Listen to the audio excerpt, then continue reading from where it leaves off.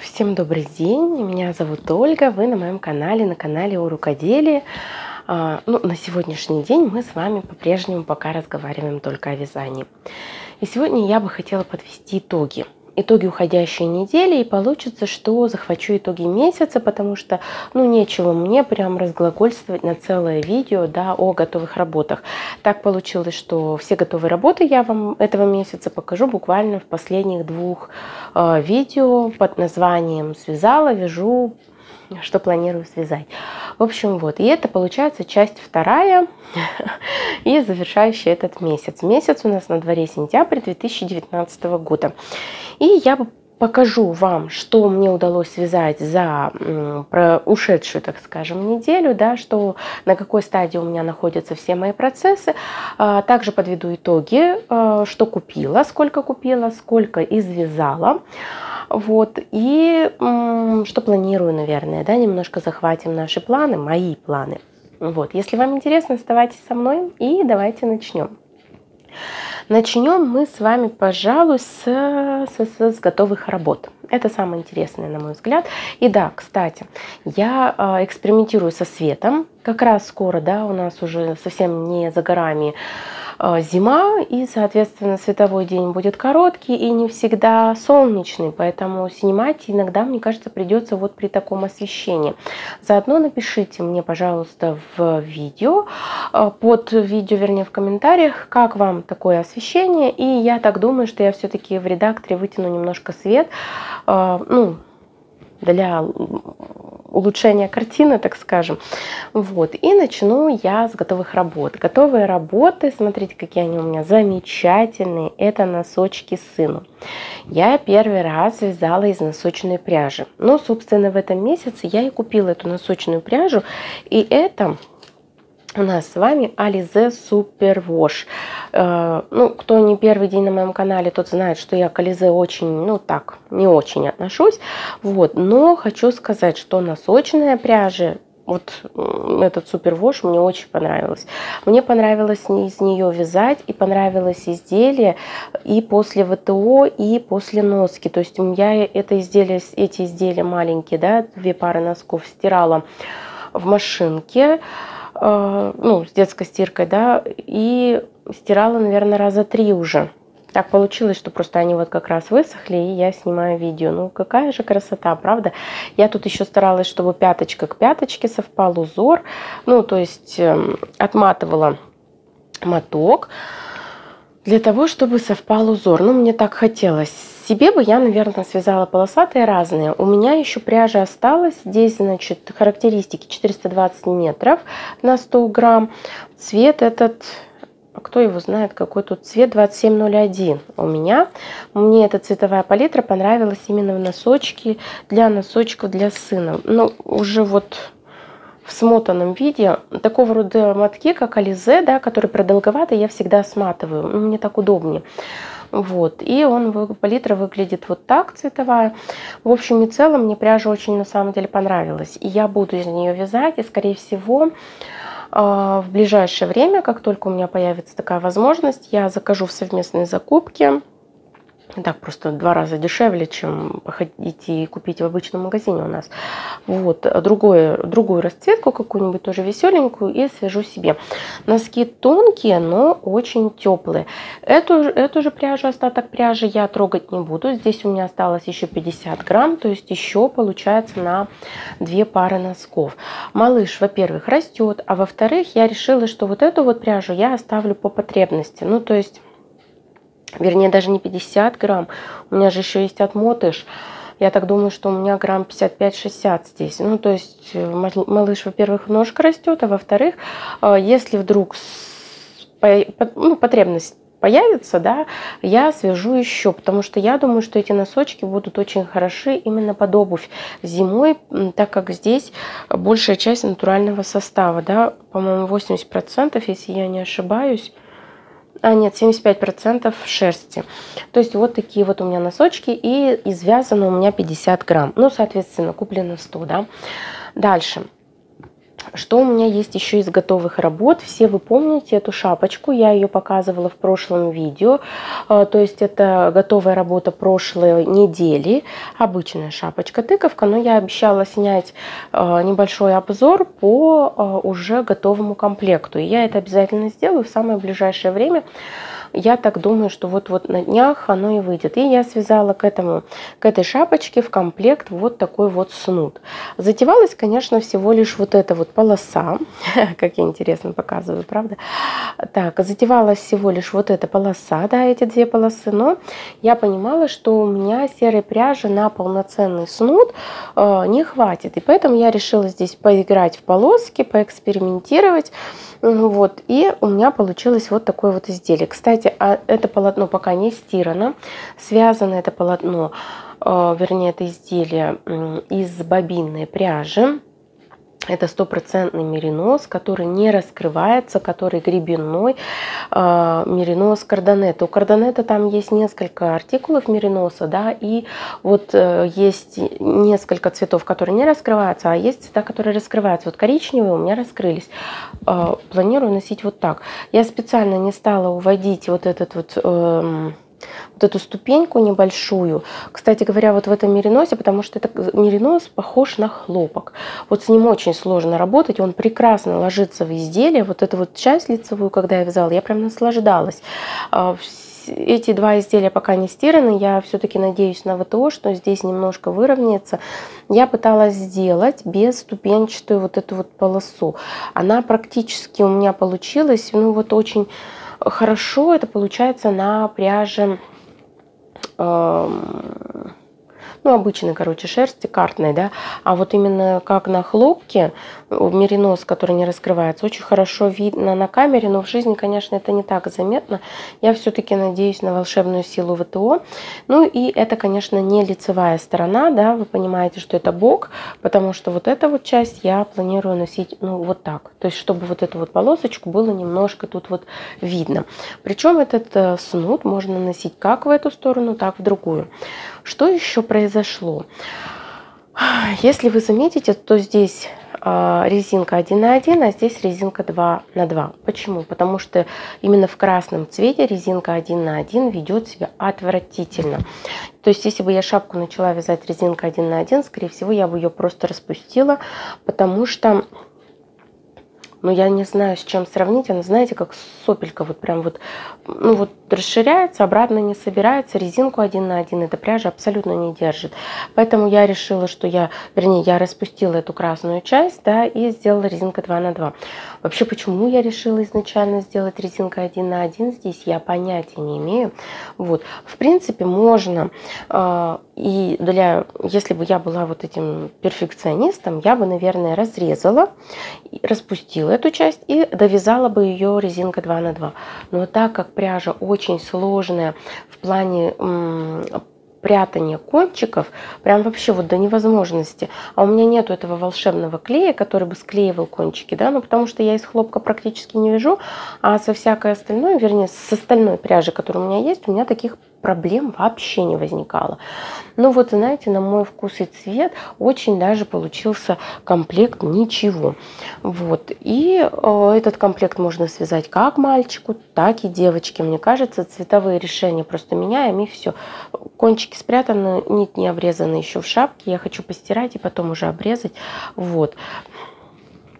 Так что вот такой вот у меня получился комплект. Мне очень нравится. Да, я понимаю, конечно, что вот эти все новомодные шапки, они не всем идут, в том числе и мне, наверное, не совсем идет. Но вот мне хочется побыть еще красивой, молодой, задорной, да, пока, э, ну, как бы шляпы я еще успею поносить. А вот э, я не думаю, что такую шапку я надену в 50 лет или в 55. Поэтому в свои 30 с хвостиком я все-таки пока себе могу позволить. Ну, хотя не знаю, может быть, на самом деле я и выставлю на продажу этот комплект, а может быть, он у меня полежит.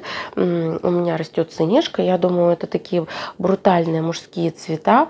Прям вот вообще идеально. Тем более, несмотря на то, что это гребеной меринос, это стопроцентный самые натуральные продукты.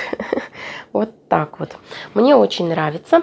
И значит, если говорить по граммам, что у нас здесь? У нас здесь снуд 120 грамм весит, а шапка весит 75 грамм. Да, 75 грамм. Это все готовые работы, которые у меня получились на этой неделе. Я очень хорошо продвинула две работы, которые у меня в процессах. Сейчас я вам их тоже покажу. Вот. А, это мой долгоиграющий процесс, который я особо не тороплюсь, потому что лето закончилось, до следующего лета еще далеко, и даже это не офисный стиль, несмотря ни на что, да, я планирую короткий рукав. Мне вот очень хочется сюда короткий рукав. Это больше эксперимент по пройденному материалу, да. Я уже говорила, что я у Виктории, Вики Стрикс, а, я, наверное, подпишу или оставлю ссылку в инфобоксе на нее, она проводит интенсив по круглым кокеткам. Вот. И круглые кокетки для меня это боль и печаль. Я прям вот, вот даже сесть и изучить материал не хотела, не знаю почему. Но мне подача материала у э, Виктории очень понравилась. Я прям сидела, кивала, я все понимала, но теория теория, практика практикой, да, и в общем, я та еще звезда. Если вам интересно, я тут снимала недавно тег, выпустила предыдущее видео. Э, тег э, Алина вяжет, да, там как раз я и рассказываю про то, какая я, какая я вязальщица, как я отношусь к образцам, как я отношусь вообще э, к построению модели, какие у меня бывают ошибки. В общем, кому интересно, можете пройти посмотреть, там часовое видео, прям вот подвязание очень даже, мне кажется, ничего. В общем, вернемся к нашему изделию. Здесь, значит, я ушла уже далеко за подрезы, вывязываю второй моточек вот. И, как всегда, я ничего не помню. Это Троицкая фабрика, Калипсо, цвет водопад. Вот. И ну, мне, по крайней мере, пока очень нравится. Но я не примеряла, я прям, знаете, чуть ли не боюсь, можно сказать, этого изделия. Я думаю, что я сейчас довяжу вот этот моток и э, сниму на дополнительную специю, еще дополнительную леску и примерю. Вот это будет уже, это будут уже новые впечатления по данной работе. Вот. И я ее немножко продвинула, как вы видите, за эту неделю. То есть я здесь никуда не тороплюсь. Это, знаете, когда я снимаю болталки, там сплошная лицевая гладь, и вязать ее очень приятно. Вот. То есть изделие само небольшое получается. Дальше. Я продвинула неплохо свой проект, и уже видите, в другую проектную сумку я его сюда э, разместила, и этот проект я заморозила. Почему? Потому что у меня закончилась пряжа, практически закончилась, и я жду Жду посылки. Даже получилось, что посылки, знаете как, мне моя подписчица выслала посылку с этой пряжи, и я до того, как она мне сказала, что э, отправит эту посылку, да, я в одном магазине, я вам даже рассказывала, по-моему, в прошлом видео, жаловалась на то, что магазин мне так и не ответил э, по поводу доставки по почте, они мне посчитали по СДЭКу, это было очень дорого, и, в общем, они мне ответили по почте, да, сколько будет, стоимость доставки получилась в два раза дешевле, и, ну, так как я уже вела переговоры по поводу этой пряжи, я понимаю, что это, ну, очень некультурно, да, и без того я заказываю всего 200 грамм, я обычно так не поступаю, если уж я сделала заказ, значит, я его и оплачиваю. Если не пришло мне письмо ответное, которое я жду, да, счет, ну, значит, могу я подумать. Обычно я стараюсь не кидать, так скажем, магазины даже с маленькими поставками, хотя для них, наверное, это несущественно, но вот я такой человек. И поэтому у меня пряжи получится больше, чем мне нужно, наверное, или я смогу развернуться, знаете, прям вот в кардиган в пол. Ну, в общем, смотрите, что здесь. Здесь я вывязала, сколько у меня было в маленьком моточке, да, и получается, что э, ушла далеко, ну, не так уж и далеко на самом деле, ушла вниз. То есть здесь я жду теперь пряжу, довязать изделие до нужной мне длины, и получится, могу сделать даже широкие рукава. Широкие, как я и хотела, знаете, ну, прям вот полноценное будет изделие, и даже, быть может, я действительно, ну, у меня есть еще одна задумка, если пряжа действительно придет одинаково, ее будет много, есть у меня еще одна задумка под эту пряжу. Мне кажется, будет тоже прекрасное изделие. В общем, посмотрим. Вот так бывает, что э, думаешь, что не найдешь бобинную пряжу спустя некоторые... Ну, у меня еще есть, кстати говоря, тут совсем немного, но я бы, может быть, еще сантиметра три бы связала, но я не хочу, потому что я вяжу в две нити, мне будет удобнее, мне придет бобинка, да, и мне будет удобнее в две нити вязать с двух бобин. Поэтому я этот процесс пока заморозила, и, естественно, я это все не считаю в этот месяц, просто потому что это все, ну, пока вот на стадии процесса. Когда будет готова работа, еще неизвестно. То есть я жду пряжу. Этот процесс вообще заморожен. Заморожен временно. Я, конечно, так делать очень не люблю, но обстоятельства так складываются. В общем, это пока два процесса у меня на спицах, и больше у меня пока ничегошеньки нет. И давайте подведем итоги уходящего месяца в граммах. Да? То есть я же веду свой собственный марафон. Все же помните, ведь правда? А, купил пряжу, свяжи, сразу называется марафон, через хэштег можете присоединяться, можете делиться своими эмоциями в Инстаграм, можете снимать видео, если вы блогер, если вам тоже интересна эта тема, тема минимализма, наверное, в том числе. То есть я стараюсь не покупать лишнюю пряжу, я стараюсь покупать ту пряжу, которая мне нравится и которую я бы хотела вязать сразу. Ну, конечно, иметь в запасах 2, на 2-3 проекта да, пряжи, это, мне кажется, очень даже хорошо. Вот. А, значит, я в этом месяце извязала 749 грамм пряжи, а то есть это еще я сюда включила свитер серый мужа который я в основном вязала в прошлом месяце, но завершила в этом. Но зато в этом месяце я другие проекты вязала, которые не включаю в этот месяц. Поэтому мой подсчет идет вот таким вот образом. Значит, свитер мужу, шапка, тыковка, носки сыну две пары и снуд. И вот два у меня процесса, которые я не считаю, да. Хотя вязала ведь ну, много. Вот, а, значит, 749 грамм извязано и куплено 340 грамм. То есть это, что у меня осталось? У меня осталось, получается, вот эта вот бобинка, которую я брала на недостающую пряжу по свитеру мужа, да. Вот это графитовый такой черно-графитовый меланж э, в составе меринос. Вот э, меланжевый меринос, тут 120 грамм. Это прекрасная, мягкая, наимягчайшая пряжа. Вот, и я пока не знаю, что я из нее свяжу. Быть может, что-то сыну. Ну, он у меня пока не носит, на самом деле, вязаные изделия. Я очень хочу попробовать связать ему шапку с ушками. Посмотрим. Ну, не факт, что из этой пряжи. В общем, мне надо подумать, что из нее связать. Пряжа прекрасная. И по правилам моего собственного марафона, получается, что я покупаю пряжу в этом месяце и должна ее извязать или начать из нее вязать в следующем месяце, в этом или в следующем месяце. То есть у меня на октябрь вот уже есть а, прекрасная пряжа, осталось только придумать и ну, задумку да, под нее какую-то. Изделие само надо придумать. 120 грамм это немало, это вполне достаточно. Вот, дальше. Я покупала, значит, носочную пряжу Ализе. Она у меня была в работе, часть э, уйдет в запас.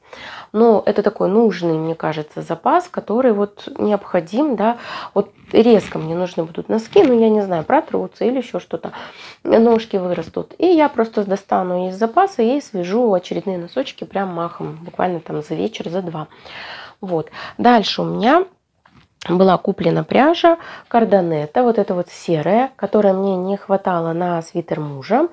А, я ее докупила 120 грамм, там у меня ушло совсем немного, да, на свитер недостающей пряжи. И получается, что у меня осталось. И остался вот на этот цену. То есть эту пряжу я просто уже извязала. Из всего, что куплено, это все. То есть 340 грамм я купила в этом месяце. Ну вот не считая той пряжи, которая сейчас мне идет, да, красного вида, но в этом месяце я ее не получу, значит буду считать в следующий месяц. Вот. И это, значит, один проект, который со мной идет в октябрь. Ну, это тут надо сильно подумать. Так, дальше. А что еще? Планы. Конечно же, мы любим составлять планы. В планах у меня получить пряжу и довязать, значит, кардиган вот этот э, твидовый. Потом немножко продвинуть хотя бы на еще один моток э, кокетку, потому что мне очень интересно, как она получится. Но опять же, тут вопрос спорный. Сейчас я довяжу и примерю ее на себя. Ну, пойму вообще, да, э, не промахнулась ли я и насколько промахнулась, и с какого момента мне нужно перевязывать, если что. Вот. Э, и еще один тайный процесс, о котором мы с вами сейчас тоже узнаем. Как вы помните, в прошлом месяце я а, в итогах месяца, если вы смотрели, если нет, проходите, пожалуйста, смотрите. Там тоже есть готовые работы, зачатыши этих процессов, все интересно, правда. Ну, по крайней мере, мне интересно. Вот. И там я крутила рулетку. Рулетка подразумевает что? Рулетка подразумевает, что на всю имеющуюся у меня пряжу кстати говоря, я здесь вам оставлю наверху а, ссылку на видео с пряжей. Это вся пряжа, которая у меня есть на сегодняшний день, которая не в процессах, да, не задействована. А, на сентябрь у меня была ревизия пряжи, я ее на зимовку в квартиру перевозила, вот, с балкона. Так, и значит, э, из всей имеющейся пряжи я подготовила для себя, ну так, накидала несколько проектов, например, есть у меня пряжа, да, под него какой-то я видела проект, и это все я накидала, значит, и распределила по этой рулетке. И крутила эту рулетку, а, и по, при помощи именно а, этого выбора у меня как раз выпал тогда этот красный твит. И я должна была его задействовать в работу. Этот твит у меня лежал 10 а, месяцев, то есть, представляете, он бы, может, пролежал бы еще год, быть может, еще год, еще год. Ну, не знаю. Не для этого, мне кажется, мы покупаем пряжу, правда же? Мы же ну, когда мы ее выбираем и покупаем, мы же думаем, что мы вот будем из нее точно вязать и самое ближайшее время, а получается, как получается. Ну, в общем, я ни о чем не жалею, я не жалею, что именно эта пряжа мне выпала именно сейчас, потому что, видите, так получилось, что я смогла ее найти. Э, ну, еще какие оттенки придут, проверим вместе с вами, я все вам покажу и расскажу, когда придут посылки. Вот, и я ни о чем не жалею, что именно сейчас выпала эта пряжа, и у меня была возможность найти недостающую пряжу. А если бы она у меня еще года два пролежала, ну, не факт, наверное, да, поэтому я а, вам тоже советую придерживаться какой-то такой, знаете, игры, быть может, да, что если вы покупаете пряжу, вы стараетесь в самое ближайшее время с нее повязать. А, ну, понятно, да, что задумать изделие и начинать вязать, потому что в ходе вязания может получиться так, что вам не хватает пряжи. Вот. И, значит, про рулетку. В этом месяце я тоже кручу рулетку. Внимание на экран. Значит, запускаю ту же самую рулетку, пока ничего не меняла. Там даже фигурирует этот же самый красный твит. Вот, но а, что выпадет в этом месяце? Давайте посмотрим. Та-да-да-дам! И в этом месяце у меня выпадает замечательная пряжа, которая тоже лежит у меня уже очень давно. А, я так думаю, что... О, сейчас я вам покажу, как красиво блестит при этом свете. Эта пряжа у меня лежит с марта месяца, по-моему. А, я все порываюсь из нее что-то повязать. Каждый раз у меня новые проекты, новые думки на нее. И вот все время она как-то уходит а, на дальний план, потому что у меня появляются какие-то новые задумки под более новые проекты, более новую пряжу или более старую пряжу. В общем, и представляете, она у меня выпала. Я даже под эту пряжу, она тонкая на самом деле, хотя тут переплетена, прям таки плотно переплетена нитью с пайетками. Очень она красивая. Она прям шикарного, богатого цвета. Вот. И я к ней на самом деле покупала вот такой вот подмот, махер. Вот. Не знаю, как я буду вязать. Я сейчас э, в ближайшее время, в ближайшие дни сяду и свяжу образцы. То есть я попробую соединить эти две позиции. Если нет, конечно, я могу в любое время их разъединить. Тут тоже достаточно пряжи на полноценное изделие. Поэтому, смотрите, я попробую их поженить, посмотреть, не сильно ли утопнут эти пайетки. Если пайетки утопнут сильно, тогда я подумаю, либо вязать на тройке слабо, либо вязать там, я не знаю, какой-то резинкой, либо связать наоборот изделие из вот этой пряжи, а под эту пряжу снова искать подмот. Ну, потому что мне не хочется ее топить во что-то, да, мне хочется, чтобы оно играло, оно э, изделие само по себе ну, вы видите, да, как оно мерцает красиво на камере. И мне бы хотелось, чтобы это мерцание было и в жизни. Вот. Махер может немножко утопить и поглотить. Не факт, опять же. Поэтому в самое ближайшее время на моем канале появится видео, в котором я расскажу именно эмоции по а, как раз-таки сочетанию различных фактур, да, получается в данном случае. Здесь сочетание пряжи, вернее, шерсти акрила, здесь сочетание махера акрила, ну, то есть не сильно будет такой богатый состав, но, может быть, изделие получится классное. Вот, есть у меня небольшая задумка, последняя задумка, вернее, да, которая была у меня из всех возможных, которых я тут придумывала. Но что из этого получится, какое изделие я начну вязать, мне кажется, будет зависеть от образца, от моего настроения, от моей насмотренности, потому что я снова загляну в свою папку с хотелками, посмотрю а, на свои сохраненные видео по обзорам каким-то, да, по YouTube, на YouTube. Быть может, что-то уже выберу готовое, что девчонки уже связали и предлагают. Ну, расскажу вам, в общем, откуда я взяла идею, если это будет чья-то идея, а не моя, или моя собраны из нескольких идей. В общем, не знаю, у меня пока тут... Я просто рада, что эта пряжа выпала, что у меня есть э, вот прям вот осознанная возможность да, повязать именно из этой пряжи, потому что если бы она у меня не выпала в рулетку, скорее всего, я бы взяла в работу чернильный меринос. Ну вот он у меня вообще очень давно лежит, прям очень. Это самая старая пряжа, старая в плане покупки, да, а, в моих запасах. И я бы хотела из нее повязать, хотя понимаю, что световой день короткий, вязать я из темной такой пряжи смогу не так часто, но тем не менее. Я в прошлом году в такое же время, где-то, да, приблизительно плюс-минус, вязала свой черный кардиган. Ничего, справилась. Но нет, в этот раз у меня выпадает эта пряжа, и значит в работу я беру ее. Все, судьба определила, э, случай, вернее, определил судьбу именно этой пряжи. Вот, ну а что из этого получится, вы узнаете в самое ближайшее время. И на этом, дорогие друзья, у меня все.